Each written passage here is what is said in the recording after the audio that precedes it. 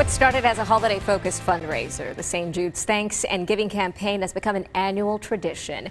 Over the years, the campaign has helped the organization raise more than $1 billion to continue the fight against childhood cancer and life threatening diseases. Joining us to talk more about this are Luis Fonsi, a St. Jude celebrity friend and Latin Grammy Award singing artist, as well as 18 year old Melanie, who's a patient there. Good morning to both of you. Thank you for being with us. Good morning. Thank you for having us. Melanie, I'd like to start with you first off, ask you how your health is right now, and then tell us a little bit of, of your time at St. Jude and how it helped.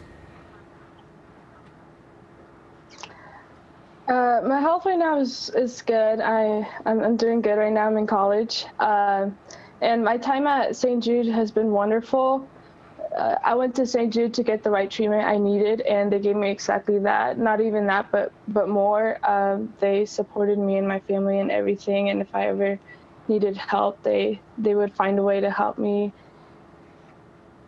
Uh, uh Luis, tell us about the St. Jude Thanks and Giving campaign for our viewers who may not be familiar with it.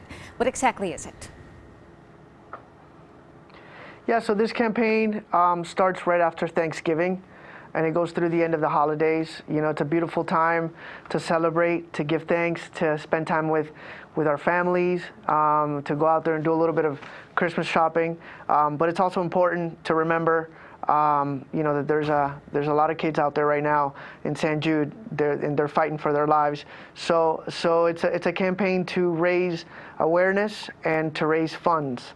Um, so uh, patients like Melanie, uh, you know, they, so her and her family, so they don't have to worry about payment because the St. Jude patients they don't have to they never re receive a bill from uh, St. Jude uh, for their treatments, uh, hospitality, transportation, food, nothing. All they have to do is just worry about uh, getting healthy. And, and that's a beautiful thing, and that's thanks to uh, the donors. So that's why we celebrate this campaign during this really, really special time.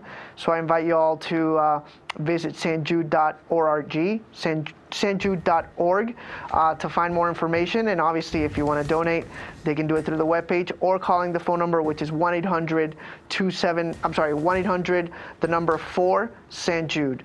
1-800-4 St. Jude. 1-800-4-St. Jude is the number, stjude.org for all of our yeah. viewers if they need more information. Uh, Melanie, I am glad that you are doing better and that you're in college right now. That's a big, big step. Uh, thank you so much to both of you for your time uh, and Merry Christmas. Yes, happy holidays to you guys. Thank you so much for having us. Thank you.